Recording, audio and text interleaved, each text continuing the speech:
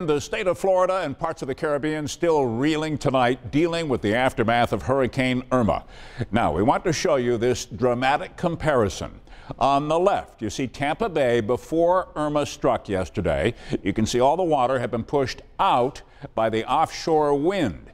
And then on the right is what Tampa Bay looks like tonight after Irma's storm, storm surge pushed all the water and more back inland. Right now, across Florida, millions of people, almost 7 million people without power, and they are still dealing with floodwaters and wind damage.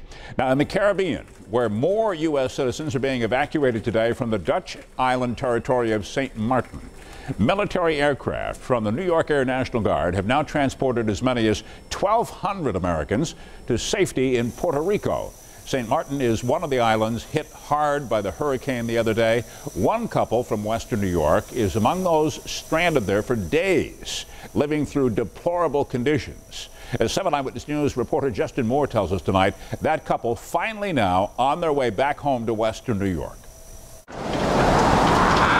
Life or death, scary moments for this Western New York couple stranded on St. Maarten as Hurricane Irma pounded the island when the wall of water hit the wall, the wall, and the hurricane shutter went, and the glass broke, and the water came flying in, I told you know I told myself this was it.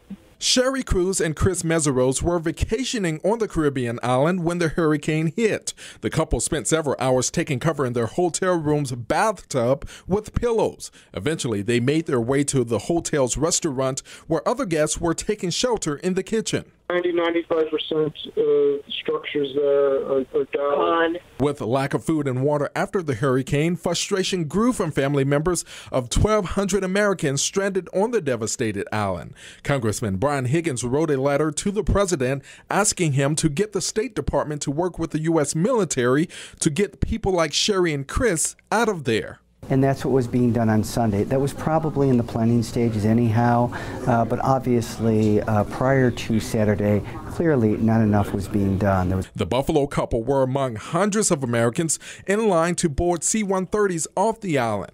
They could only take a small bag and leave the rest of their things behind.